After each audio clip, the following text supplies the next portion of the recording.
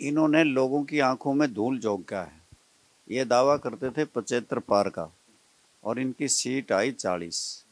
और इन्होंने फिर जो लोग इनको जमुना पार करने की बात कहते थे, उस पार्टी के साथ, जेजेपी के साथ गठबंधन कर लिया, और ये गठबंधन नहीं, ये ठगबंधन है।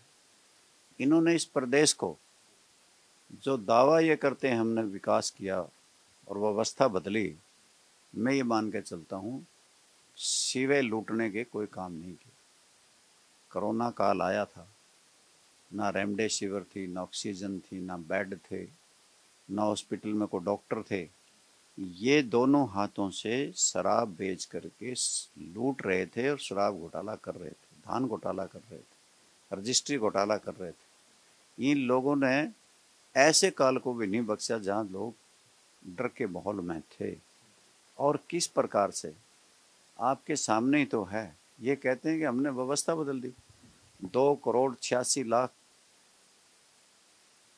दो करोड़ छियासी लाख करोड़ का कर्जा हरियाणा प्रदेश के लोगों के सिर पे छोड़ दिया और कर्जे पे कर्जा ले रहे हैं और कर्जे लिए जाते हैं, परंतु विकास किए जाते हैं। हरियाणा प्रदेश में विकास की तो कोई एक ईंट भी नहीं लगी कि आप देखोगे किस प्रकार से आज स्थिति बनाई कि रक्षक ही बक्षक बन गए हैं, बाढ़ खेत को खाती। दरिया के किनारे खुद पानी चूस गए, बिजली खंभे चाट गए। जल घर हैं तो जल नहीं, बिजली घर है तो बिजली नहीं।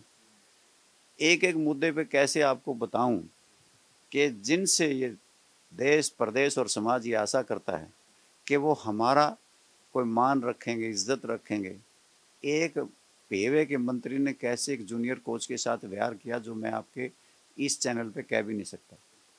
अब बाढ़ खेत को मैं इसलिए कहता हूँ, खा रही है कि हर विधायक, हर आपके मंत्री कमीशन खोरी में और केवल पैसा कमाने में लगे हुए हैं, जेबें भरने में लगे हुए हैं। और इसी प्रकार से कि किसानों को कितना तंग किया कि सबसे ज़्यादा तो अहम रोल किसानों का होता किसी प्रगति में। तीन काले कानून बनाए 700 से ज़्यादा जाने चली गई, तीन सौ अस्सी दिन आंदोलन रहा एमएसपी का कानून नहीं बन सका।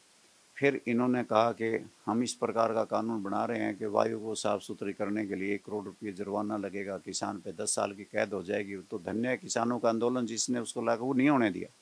फिर इन्होंने बिजली का इसी प्रकार से संशोधन करके एक बिल लेकर के आए। कहने लगे कि कंपनियों को अठारह प्रतिशत का लाभ पहुँचाना है और किसी भी बीपीएल कार्ड को या किसी किसान को सब्सिडी नहीं मिलेगी।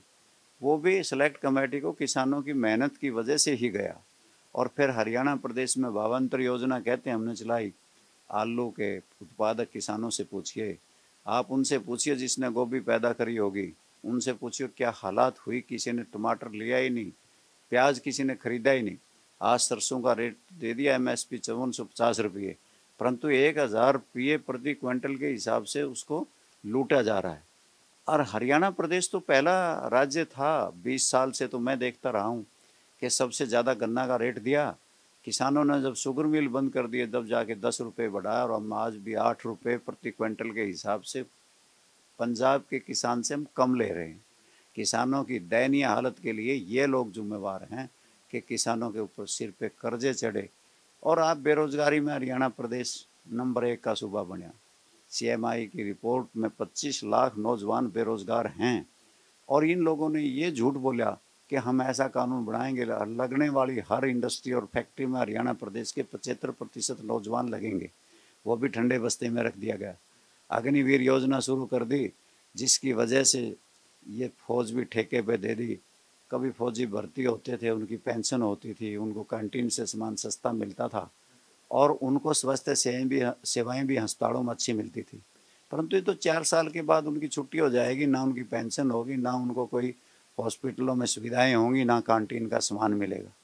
और इतना ही नहीं, आज हरियाणा प्रदेश के नौजवान बेरुखी, बेरुख होकर के विदेशों की तरफ़ मुँह करने लगे। यूएसए में जा कर के कनाडा में जाते हैं, ऑस्ट्रेलिया जाते हैं, इंग्लैंड जाते हैं, डोंकी वीज़ा लेते हैं जिस माँ बाप ने उनको प्यार, प्रेम से पाला था, आज सात समुद्र पार जा कर के जान हथेली पर रख के डोंकी वीज़ा लेकर के दूसरे देशों में अपना जीवन यापन करने की सोच ली। यहाँ से लोग बेरुखी होकर के वह ना जाने कैसी कैसी मजदूरी करते होंगे कैसे कैसे काम करते होंगे, इस बात का अंदाज़ा नहीं लगाया जा सकता। और इन्होंने जिस प्रकार से नौजवानों के साथ और किसानों के साथ खिलवाड़ किया, वहीं गरीब लोगों को भी बहुत तंग किया। इन्होंने कहा कि परिवार पहचान पत्र बनाओ, एक लाख अस्सी हज़ार जिसकी आमदनी दर्ज होगी, उसकी बुढ़ापा पेंशन काट दी, इन्होंने पीले कार्ड काट दिए। प्रधानमंत्री आवास योजना के तहत एक भी मकान इन्होंने नहीं बनाया। और ये लोगों को केवल लूट में लगे हुए हैं। आप ये देख लो, कौन कर है? आज आपके सामने तो है। ये आंदोलन करने आते हैं, यहाँ पे आती हैं, आशा वर्कर उन पर लाठी बरसा देते हैं, किसान आते हैं, उन पर लाठी बरसाते हैं, अगर सरपंच आते हैं, उन पर लाठियाँ ओल्ड पेंशन स्कीम बाहर कराने के लिए कर्मचारी आते हैं तो उन पर लाठियाँ, गोलियाँ बरसाई जाती हैं, उनके ऊपर पानी की बौछारें फेंकी जाती हैं, मुकदमे बना दिए जाते हैं। ये सरकार दमनकारी है, तानाशाही है और जनता का विश्वास खो चुकी।